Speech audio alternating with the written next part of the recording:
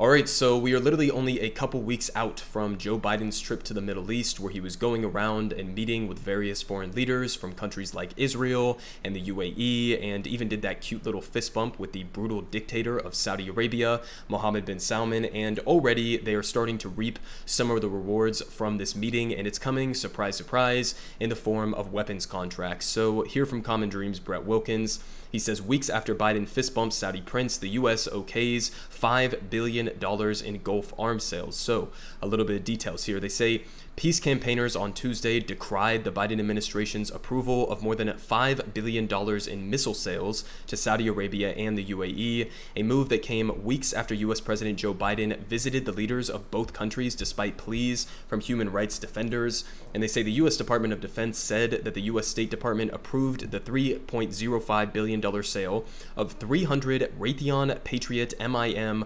104E missiles to Saudi Arabia, as well as 96 Lockheed Martin terminal high altitude area defense missiles worth 2.25 billion for the UAE. So just to touch on a little bit of the uh, corrupt nature of the revolving door in our politics here in the United States, uh, notice that this weapon sale is coming from Raytheon, similar to the first uh, Saudi weapon sale, sale that Biden did at the beginning of his administration. And uh, of course, the uh, Pentagon chief, the Secretary of Defense Lloyd Austin here, who Biden appointed, is literally uh, somebody who used to serve on the board of Raytheon Technologies. So, a little bit of background on that here. They say after the election of former President Donald Trump in 2016, Austin left the public sector and assumed positions on the corporate boards of steel manufacturing giant Nucor Corporation, Tenet Healthcare, and United Technologies, which then merged with defense contractor Raytheon Company in 2020. And the merged corporation, Raytheon Technologies, is among the top five lobbying spenders in the defense sector and spent almost $11 million on lobbying in 2020 and Austin earned seven figures from the defense companies, so over a million dollars at least uh, from his position at this weapons manufacturer. And they say Austin stepped down from all three board positions following his nomination in 2020. And prior to joining the Biden administration, Austin worked alongside fellow cabinet member Antony Blinken at Pine Island Capital Partners, a private equity firm investing in defense companies that touted its access to Washington. So, yeah, I mean, you got what you wanted there, right? I mean, this is again the revolving door of DC politics, but now you have two people, both the uh, Secretary of Defense and the Secretary of State, Antony Blinken, uh, who both have ties to the same exact investment firm that were literally profiting off of warfare and continued weapons contracts like the one that we're talking about right here. So, again, just rampant corruption, but this is nothing unusual. This is baked within the U.S. political system and the military industrial complex. But I do think that it's kind of important sometimes to remind ourselves that even the people who are like the top figures in being in charge of running our military and diplomatic operations they have direct ties and have direct financial incentives to continue promoting warfare, to continue promoting uh, these types of uh, contracts to brutal dictatorships. So, they continue here saying that the move came just after an extension of a United Nations brokered truce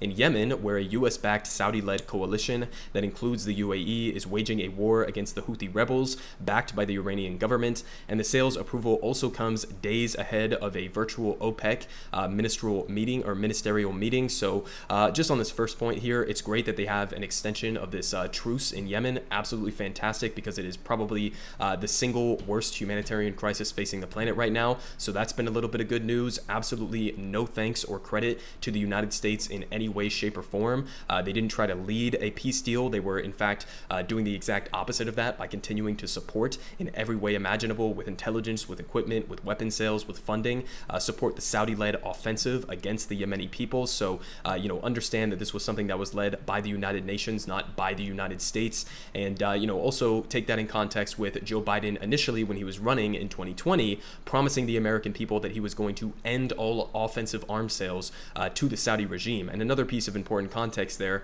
is that the Saudi war in Yemen or the Saudi military apparatus in general would not exist or would not exist nearly in the capacity that it does right now if it wasn't for the support from the United Kingdom and from the United States. So if we wanted to actually end the war in Yemen for good, we could just simply stop supporting them militarily and that would pretty much do it. It's like upwards of over like 85% of their uh, weapons that they are using in this war war coming directly from the US and the UK. So I think that's another piece of important uh, information there. But They continue citing, uh, saying that citing persistent Houthi cross-border drone and missile attacks against Saudi Arabia, the Pentagon said that the proposed sales will quote support the foreign policy goals and national security objectives of the United States by improving the security of a partner country that is a force for political stability and economic progress in the Gulf region. Okay, this guy, Lloyd Austin, this motherfucker, actually had the audacity to say that Saudi Arabia is a force for political stability. Okay, keep in mind, Saudi Arabia is like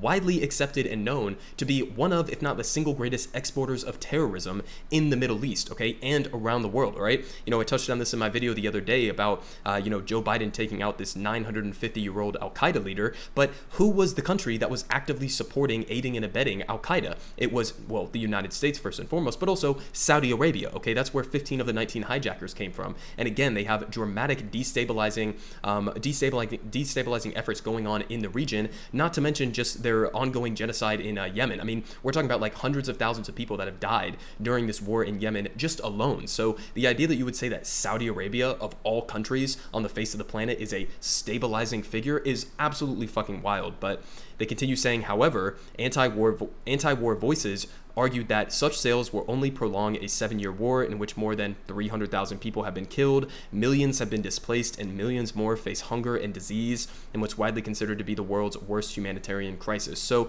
those are the basics of like the bullshit justifications that uh, the State Department, the Pentagon is coming up with for why they're doing this weapon sale. I think at the end of the day, it's pretty clear why, why they're doing this. Uh, from Joe Biden's perspective, it's a multitude of different reasons. Uh, number one, Saudi Arabia has been a historic partner in the region uh, because they they are willing to go along with our economic, our oil, our uh, military objectives for the most part. Obviously, they've been kind of dicking us on oil recently, but um, Joe Biden's motivation for doing something like this is, in his words, he would like to say that it's because we want to uh, push back against Vladimir Putin and the Russian invasion of Ukraine. So we don't want to have to import any uh, supplies from uh, Russia. And so we're appealing to this partner in the region in order to get them to release more into the global reserves to tamp down tamp down those uh, oil and uh, gas prices. So that's probably what he would argue. But at the end of the day, Saudi Arabia has no fucking moral high ground on anybody, whether that's the United States or whether that's Russia or anybody else. Okay, this is one of the most brutal and violent uh, dictatorships in the entire world. Okay, so the idea that you would be you know getting on your your hands and knees and basically begging them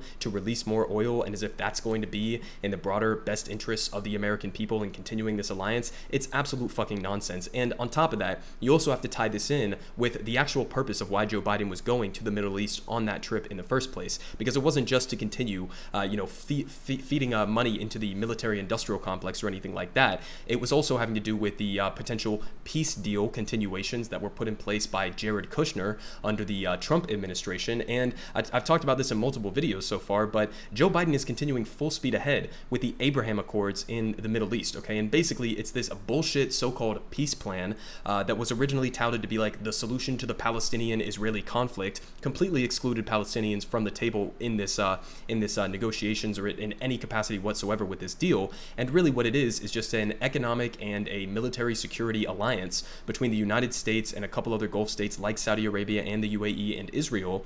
And basically, basically using this as an opportunity to form some sort of an allied force against the power and influence of Iran in the region. Okay, and so that's also coming at a time where not only is this peace deal not actually a peace deal, not only is it going to do uh, have a negative impacts on uh, you know U.S. national security, which is not even just my opinion, that's the former opinion of the current uh, Secretary of State Antony Blinken. He wrote an entire op-ed about how bullshit the uh, Trump so-called peace plan with the Abraham Accords was back under the Trump administration. Now he's completely changed his mind somehow now. But on top of just the bullshit nature of that uh, Abraham Accords that Biden was continuing to push, you also have the added uh, aspect of this that he's not making any attempts whatsoever to continue with a revitalization, uh, revitalization of the Iran nuclear deal as well. So he's basically casting that completely aside and choosing to side with the Saudis and Israel and the UAE, all of all of these uh, brutal either apartheid or um, you know dictatorial regimes in these countries, choosing to side with them over potentially uh, improving a diplomatic situation with Iran